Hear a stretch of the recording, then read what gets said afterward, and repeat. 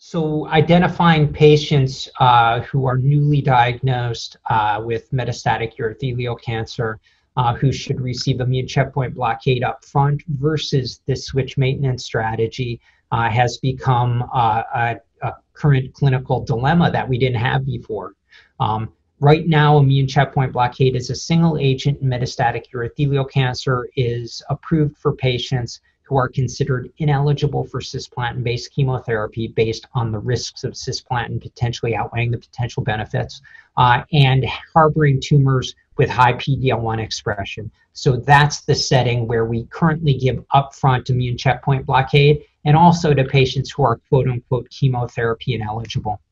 Um, that strategy is still a potential strategy, but now we have switch maintenance data stating that patients uh, can get chemotherapy up front and then benefit from immediate switching to immune checkpoint blockade. So, are there any patients who should get initial uh, immune checkpoint blockade as a single agent in this day and age?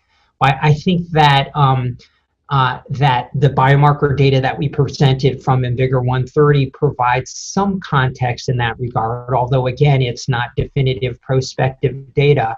Um, but in patients with both high TMB and high PD-L1 expression uh, who get immune checkpoint blockade up front versus chemotherapy, uh, those patients do incredibly well. And so, whether or not they would do just as well with a chemotherapy switch maintenance to immune checkpoint blockade uh, treatment strategy. We don't know that. I'm not sure we'll have trials to answer that question, although those trials are really what's needed to definitively determine the biomarker sequencing treatment question that currently faces us in clinical practice.